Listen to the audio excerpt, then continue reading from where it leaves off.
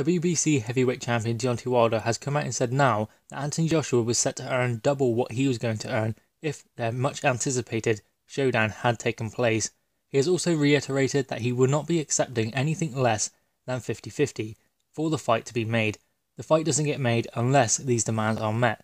Also, he is saying he is the most talked about boxer and the most famous boxer. He continues to talk about this now. Ever since this list has been pulled from nowhere, Deontay Wilder seems to think that he is the A side now and that he deserves 50 50 in this fight.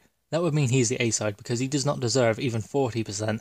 So the fact that he thinks he deserves 50 50 means he really overvalues what he brings to the table for this fight because Anthony Joshua brings the biggest draw, he brings the more belts, and he's going to give Deontay Wilder his career highest payday. Whereas Anthony Joshua will obviously get his career highest payday, but considering what Deontay Wilder will be earning against Dominic Breazeale, he will be earning a lot more in the Anthony Joshua fight.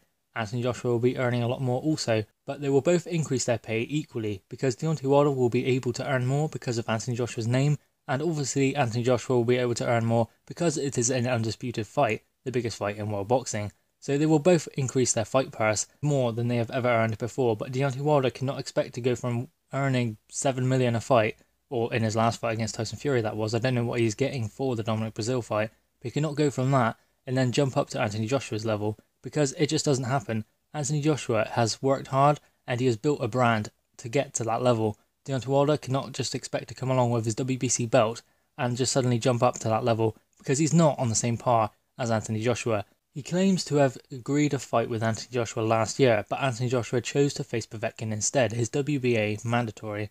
But, I mean, there is no evidence of this, and he did accept a 15 million deal, fair enough. But when he was sent a contract, he did not sign it, and there was no contact from his team from then on. They did not even say what they didn't like about the deal.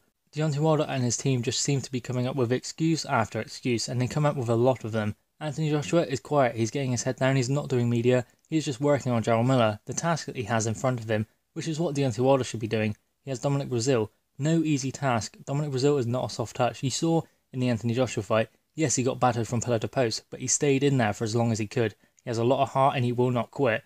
So Deontay Wilder should be focusing on that instead of trying to stay in the media eye by saying Anthony Joshua's name, because that is what he is doing again. We've seen him do it over the last two years, but he's doing it again.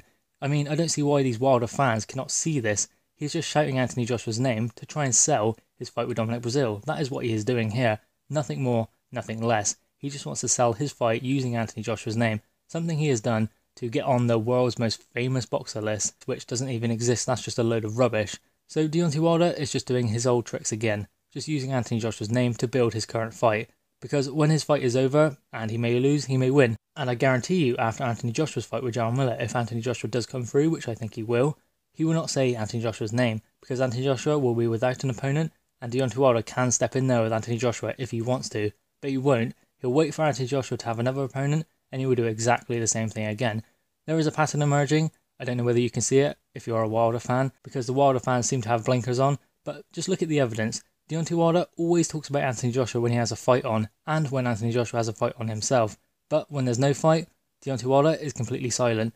And another thing as well, he talks about Tyson Fury, but Tyson Fury was texting him back and forth before their fight. Since then, Tyson Fury has texted Deontay Wilder. To me, no response. It is pretty clear that Deontay Wilder has lost all of his bottle if he had any in the first place, and he will not face Anthony Joshua. He will come up with excuse after excuse and anything he can to not get in the ring with Anthony Joshua. But guys, what are your thoughts on this? The latest excuses from Deontay Wilder. Please drop your thoughts in the comments below. Please like the video and subscribe for more content. Thank you guys.